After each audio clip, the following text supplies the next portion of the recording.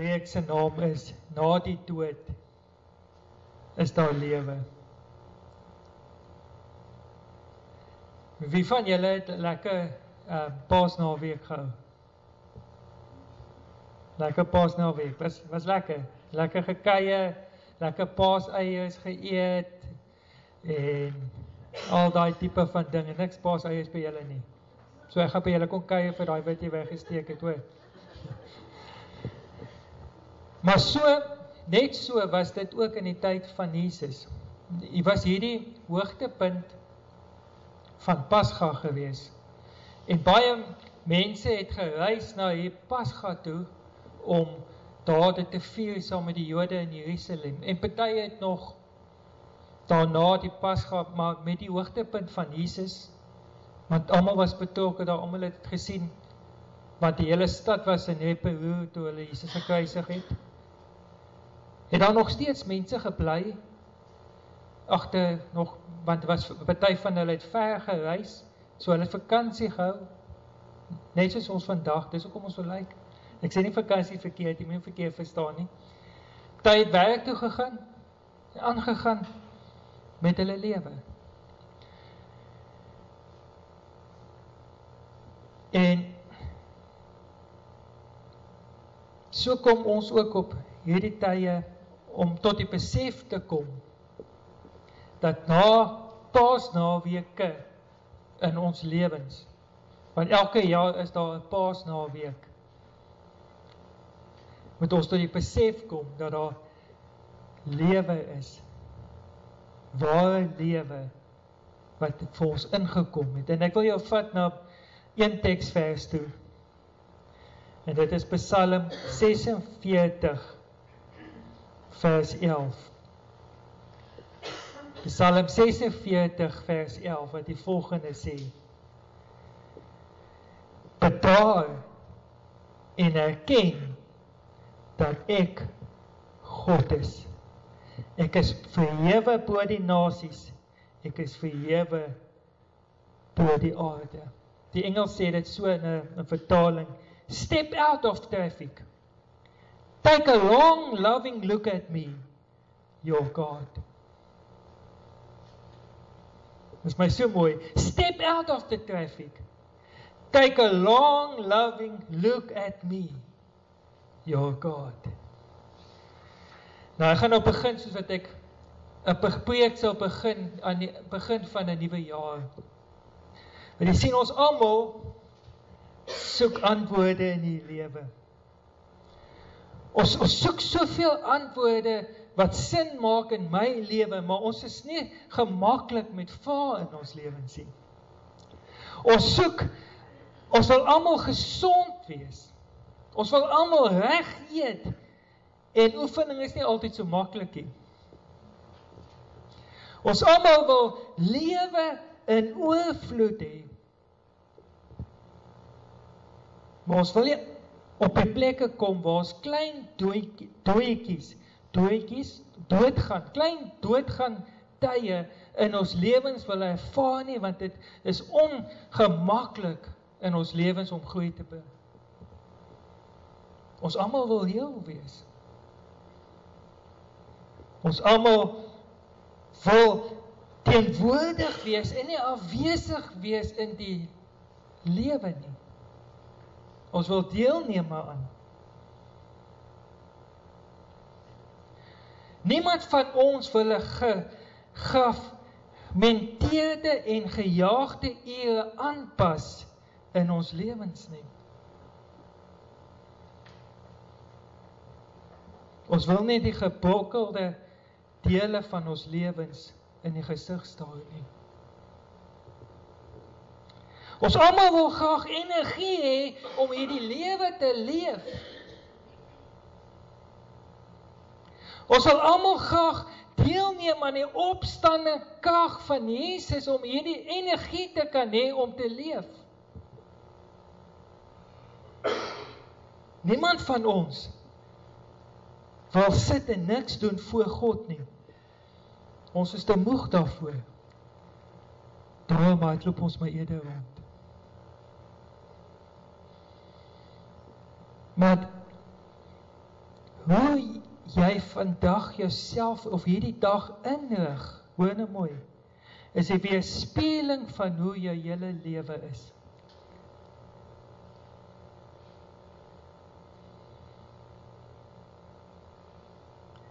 Iemand het gesê How we spend our days is of course how we spend our lives. Die vraag is Waarvoor hardloop jy weg? Waarvoor wag jy? Want jy sien ons is groot gemaak met hierdie hierdie hierdie waardesisteem, hierdie gedagtegang van ek moet besig wees. Ek kan nie sit en niks doen nie.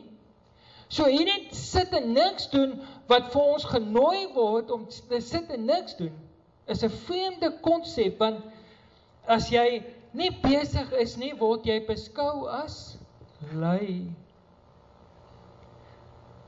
Maar daar kom tye in ons lewens wat ons niks tye moet hê. Nie altyd nie.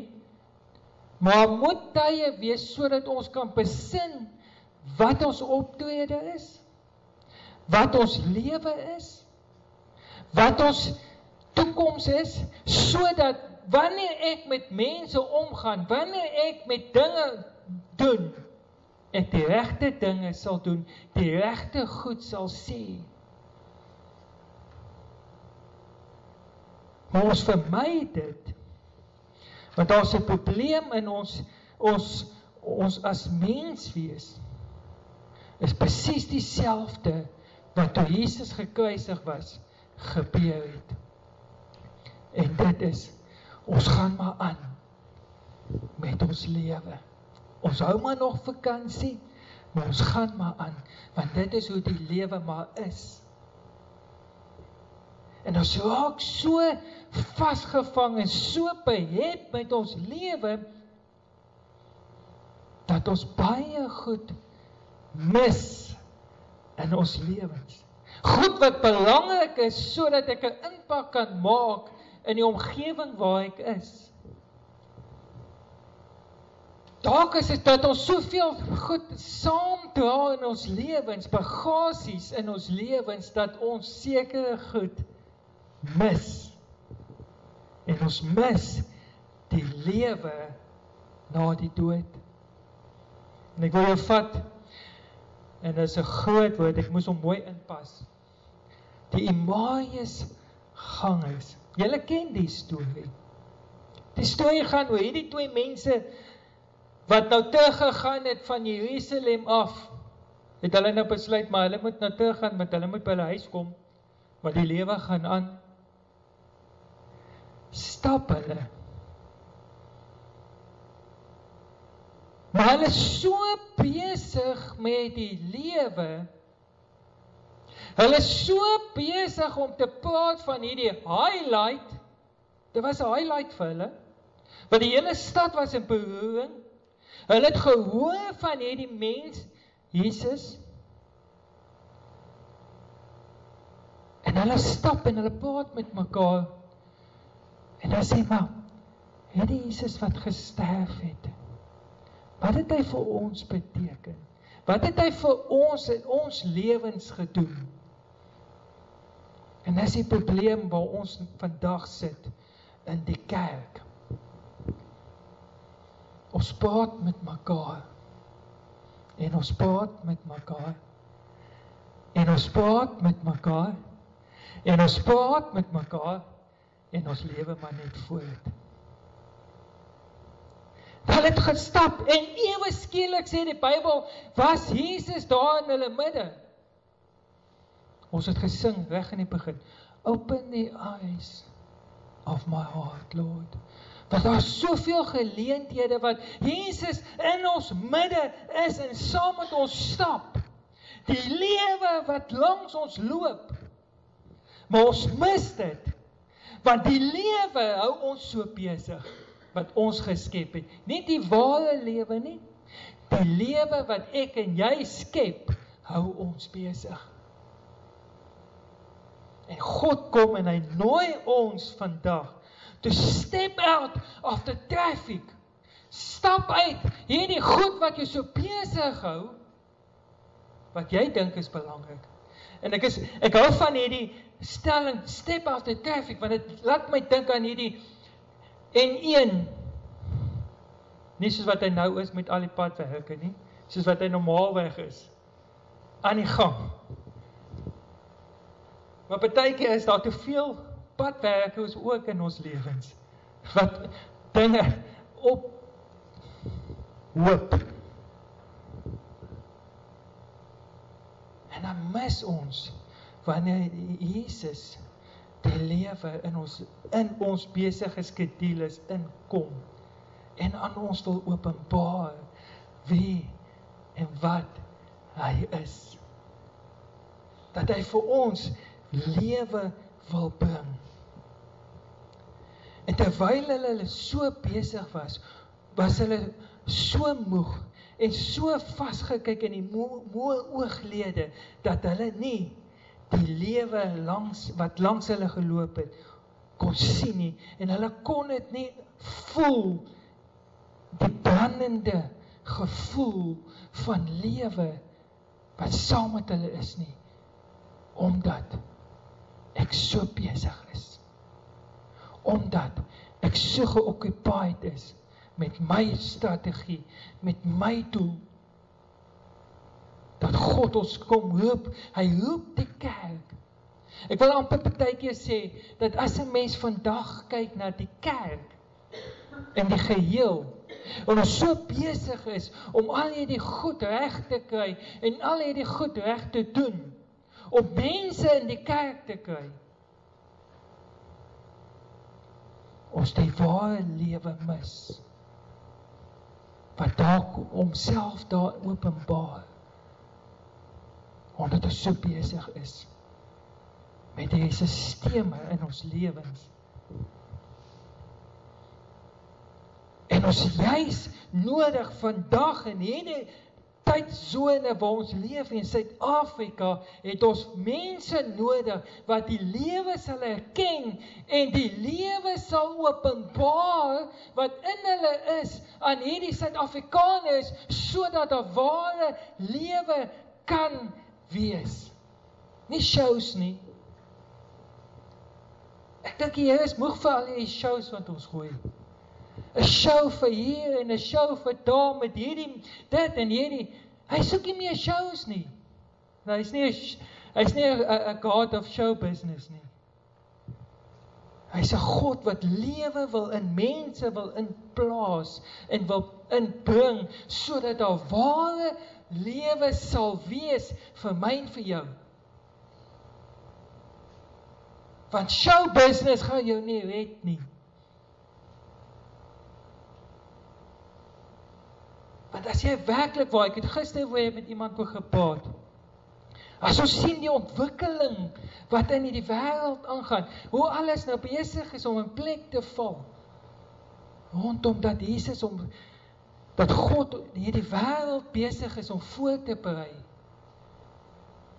Dat hierdie ware lewe homself weer gaan openbaar aan die res van die wêreld.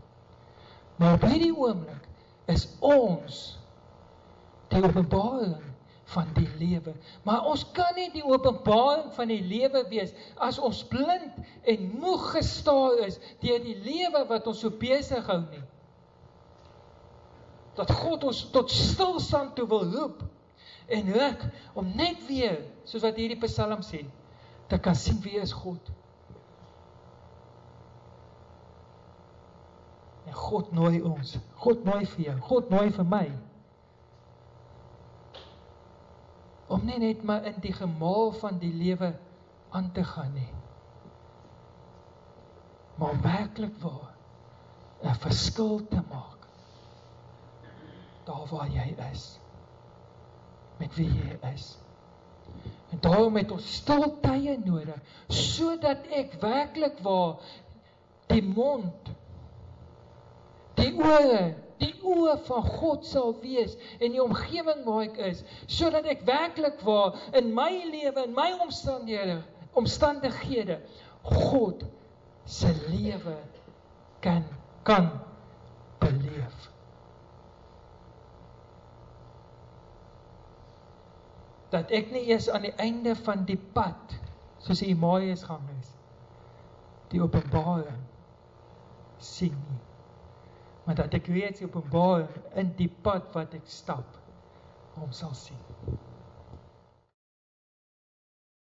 Here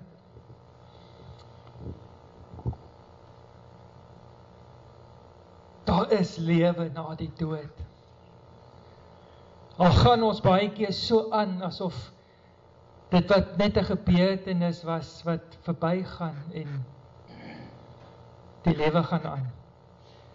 Hoe baie die gebeure van Jesus Christus wat opgestaan het uit die dood, wat lewe gebring het vir elkeen van ons. Hoop dit ons tot stilstand om net weer die lewe van God in ons alledaagse rutines besluite te ervaar. Here, help elkeen van ons om weer eens net die lewe te sien en te beleef. Help ons om terwyl ons soos hierdie mooi gang is op die pad is, God saam met ons, Jesus saam met ons te sien stap. Dat ons nie hoef eers aan die einde van die pad te sien, o, Jesus was daar nie. Maar dat ons nou al kan sien en beleef Jesus is met ons. Dat ek vir elkeen dat dit so sal wees in Jesus naam. Amen.